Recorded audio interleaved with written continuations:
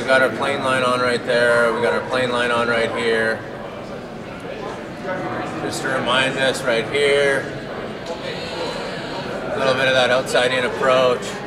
Gonna make simple fix. And we're able to get it just that much closer on the plane line. So when we go up here, look at the club trajectory.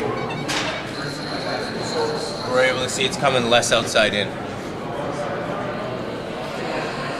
So what what this is going to do in you know in an instruction environment, 45 minutes to take a lesson to get better. We're going to be able to connect the dots a lot better and give you know just give you more feedback and really ingrain the correct motion pattern. It's gonna you know it's going to allow you to make those changes faster, make them more permanent. What's going on, Andrew? You want to hit?